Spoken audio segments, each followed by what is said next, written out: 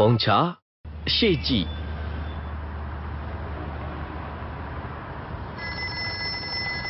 ကားမောင်းရင်အာယုံမများပါနဲ့မိတ်ဆွေတင့်နေ့တစ်ကိုမရက်တန့်လိုက်ပါနဲ့ပင်လယ်ကြားဖောင်တွေမှာအလုတ်သမားအခွင့်အရေးနဲ့လူအခွင့်အရေးပါဆုံးရှုံးနေတာကြောင့်ကွင်းစင်းစစ်ဆေးဖို့ရှိတယ်လို့အမျိုးသားလွှတ်တော်လူဝင်မှုကြီးကြပ်ရေးနဲ့ပြည်တွင်းပြည်ပအလုတ်သမားဆိုင်ရာကော်မတီကပြောဆိုပါတယ်။စိုးမိုးအောင်သတင်းပေးပို့ထားပါတယ်ရှင်။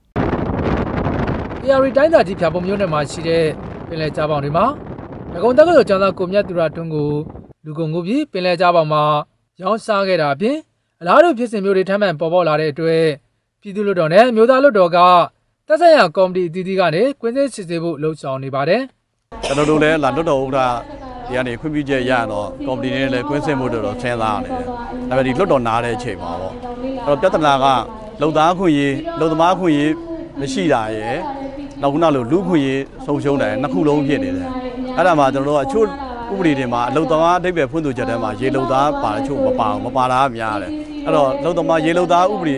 ကအလုံသမားခွင့်ရေးကနေလွှမ်းခြုံနိုင်အောင်လုပ်မလား။ဒါမှမဟုတ်လည်းရေလုံသားဥပဒေတက်တက်ပြဋ္ဌာန်းဖို့လိုလားကျွန်တော်စဉ်းစားနေတော့ရှိပါတယ်။မြန်မာအစိုးရအနေနဲ့နိုင်ငံတကာငါးဘက်လုပ်ငန်းနဲ့ပတ်သက်တဲ့ရေးဆွဲထားတဲ့ဥပဒေတွေကိုလေ့လာပြီးဥပဒေတွေရေးဆွဲဖို့နဲ့ထိုင်းနိုင်ငံမှာလည်းငါးဘက်လုပ်ငန်းမှာ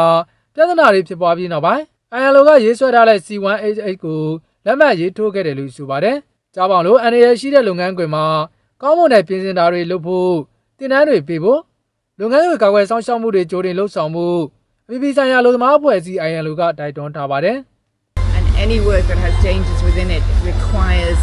ပုံမကောင်းမွန်တဲ့ပေါ့နော်ဒီပြင်ဆင်ဆောင်ရွက်မှုတွေတင်နန်းအနေနဲ့ဒီလုပ်ငန်းခွင်ထဲမှာကာကွယ်စောင့်ရှောက်မှုတွေကိုကြိုတင်လှုပ်ဆောင်ဖို့လိုအပ်ပါတယ် အဲဒီတော့ဒီငါးဖမ်းလုပ်ငန်းဆိုတဲ့နေရာမှာလည်းအင်မတန်မှအန်နေရှိတဲ့လုပ်ငန်းခွင်ဖြစ်ပါတယ်အလုပ်သမားတွေကိုတင်နန်းမပေးဘဲနဲ့ပေါ့နော်ဒီလုပ်ငန်းခွင်မှာရှိတဲ့ဘေးအန္တရာယ်နဲ့ကိုရင်ဆိုင်ဖြည့်ရှင်းနိုင်ဖို့တင်နန်းတွေမပေးဘဲနဲ့ဒီငါးဖမ်းလေတွေပေါ်ကိုတင်မပေးသင့်ပါဘူးဆိုတော့ဒါကလှုပ်ဆောင်ရမယ့်ကိစ္စရပ်တစ်ခုဖြစ်ပါတယ် ILO အနေနဲ့ကတော့ငယ်ရွယ်တဲ့အလုပ်သမားတွေကိုဒီလိုလုပ်ငန်းခွင်ထဲမှာအာထားရှိဖို့မသင့်တော်ဘူးဆိုတာအာချမှတ်ထားပြီးသားဖြစ်တယ်အလုပ်သမား10ဦးနဲ့တက်ရှိရင်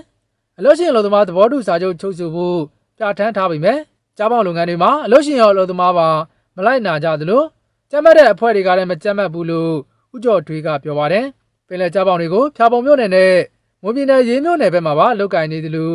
အသက်မပြည့်သေးတဲ့အရွယ်တွေကိုလူကုန်ကူးတာတွေရှိပေမဲ့တက်ဆန်ရာကအမှုဖွင့်ပေးတာမရှိသလိုညှဉ်းပန်းနှိပ်စက်ခံနေရတယ်လို့လူကုန်ကူးခံရသူတွေကဆိုပါတယ်ကိုကမသိပဲနဲ့ တခုတယူခဲကိုမသိလို့လွယ်သွားစင်ရိုက်ခံပြီးအဲ့လိုအိမ်မလုံးနိုင်စင်တပ်ပိုက်မှာဘာလို့အဲ့လိုပြောဆက်ရောဒီမျိုးပဲပေါ့မလုံးချင်လည်းလောက်ရတော့ပိုက်ဆွဲတာကျိုးမှားတာကျိုးမှားကျိုးမမှားပဲနဲ့ကိုရိုက်တာဒေါသဖြစ်ရအဲ့ဒီဖောင်စီကရိုက်တာထင်းတုံနဲ့ထုအဲ့ဒါဝိုင်းနဲ့ရိုက်ကျွန်တော်တို့မြိုက်ခံကျွန်တော်ပန်တဲ့ကောင်လေးရိုက်ခံဟိုလိုဒူဒူပိုက်ဆွဲနဲ့ဟိုကြားပိုက်ဆွဲနေချိန်ကိုအာဒေါသဖြစ်ရရိုက်တာ ကြားပေါင်လုပ်ငန်းတွေမှာညှဉ်းပန်းနှိပ်စက်ခံရတာလူကုန်ကူးတာတွေများလာတာနဲ့လူ့ခွင့်ရေးချိုးဖောက်ခံနေရတဲ့အပေါ်မြန်မာနိုင်ငံအမျိုးသားလူ့ခွင့်ရေးကော်မရှင်ကကွင်းစင်းစစ်ဆေးခဲ့တယ်လို့အမျိုးသားလွှတ်တော်နိုင်ငံသားများရဲ့မူလအခွင့်အရေးနဲ့ဒီမိုကရေစီရေးလူ့အခွင့်အရေးဆိုင်ရာကော်မတီကလည်းစစ်ဆေးတာတွေလုပ်ခဲ့ပါတယ်။ဖြောင်ပုံမြို့နယ်ကပင်လယ်ကြားပေါင်တွေမှာခုနှစ်အတွင်းလူပြောင်ဆုံးမှု146မှုလူသတ်မှု10မှုနဲ့လူသေးဆုံးမှု18မှုဖြစ်ခဲ့ပါတယ်။ကျွန်တော်ကစုမှုအောင်ပါတခြားပါ